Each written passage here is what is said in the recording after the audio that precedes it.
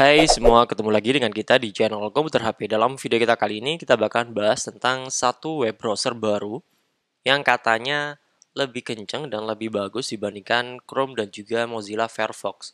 Seperti yang kalian tahu bahwasanya untuk Chrome dan juga Mozilla Firefox itu lebih umum dibandingkan browser-browser lainnya. Terutama juga Opera. Kalau saya sendiri lebih suka Opera ya di sini. Di sini saya menggunakan Opera browser. Nah, kalau kalian sendiri menggunakan browser apa? Mungkin kalian bisa jadi rekomendasi buat kalian yang mungkin pakai browser selain Chrome. Nah, di sini saya punya suatu rekomendasi browser baru. Bukan rekomendasi sih, cuman kita ulas satu browser baru yang katanya jauh lebih baik dibandingkan Chrome dan juga Mozilla Firefox. Nah, sebelum kita lanjutkan lebih jauh, boleh dong kalian subscribe dan like video ini, dan aktifkan tanda lonceng supaya kalian dapat pemberitahuan ketika ada update terbaru dari channel komputer HP ini ya. Nah, browsernya adalah Brave. Kalian bisa ketikkan langsung Brave browser. Brave browser ya. Nah, aplikasi browser ini tersedia untuk semua platform.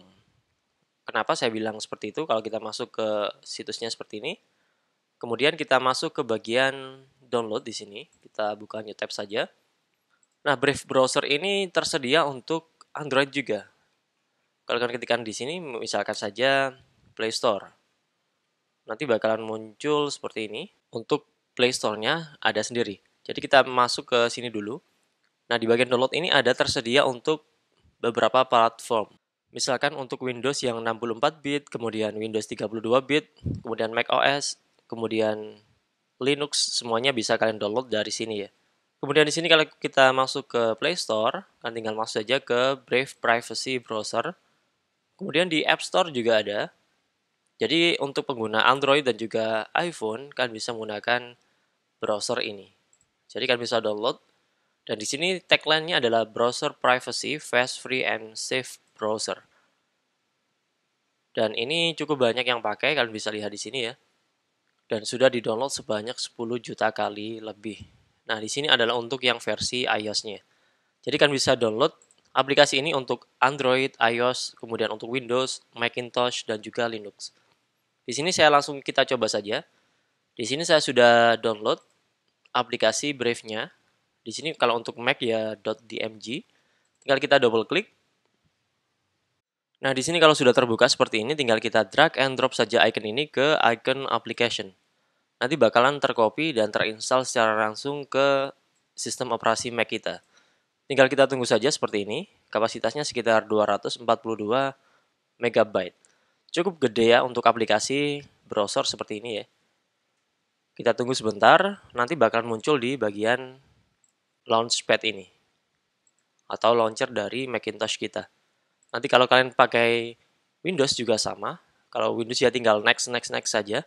Nah ini sudah selesai, berarti sudah bisa kita panggil dari launchpad. Nah, di sini kan bisa lihat sudah muncul Brave browser, langsung kita coba saja. Tampilannya kayak gimana? Kita jalankan. Di sini langsung kita klik open dan dia langsung akan terbuka sebagai browser baru. Nah, ini sebenarnya sudah pernah saya coba juga sebelumnya, cuman saya uninstall dan hasilnya adalah seperti ini. Langsung saja kita ulik di sini. Misalkan saja kita buka Brave browsernya seperti ini. Ini sudah saya rubah menjadi brief browser dengan tema dark. Kalau kita masuk ke bagian brief preference, di sini ada pengaturan yang bisa kalian lakukan mulai dari get started, extension, extensionnya bisa mengikuti extension dari Chrome. Jadi extensionnya bisa ikut sama persis dengan extension yang ada di Chrome. Jadi kalau kalian punya extension Chrome, kalian bisa terapkan di Brave browser ini juga. Kemudian ada sinkron, seal, kemudian di sini seal untuk pengaturan ad control, cookies, fingerprint protection, kemudian lain sebagainya. Kemudian di sini juga ada script blocking, kalian tinggal klik saja untuk mengaktifkan. Kemudian ada social media blocking. Kemudian di sini ada search engine defaultnya, kemudian ada appearance. Jadi di sini ada pengaturan untuk brief colornya bisa dark atau light. Kayak bisa lihat ini adalah light, kalau ini untuk bentuk dark. Kemudian untuk theme-nya bisa kalian atur atau download dari Chrome browser. Jadi secara otomatis dia bakalan cari dari Chrome Store. Jadi kalau kalian klik di sini bahkan lari ke Chrome Store seperti ini ya. Untuk mencari tema untuk briefnya ini. Kemudian di sini ada settingan lain ya sama seperti font size. Kemudian ada settingan untuk customize font bisa kalian pilih juga di sini. Di sini ada additional setting bisa kalian pilih yaitu ada privacy and security.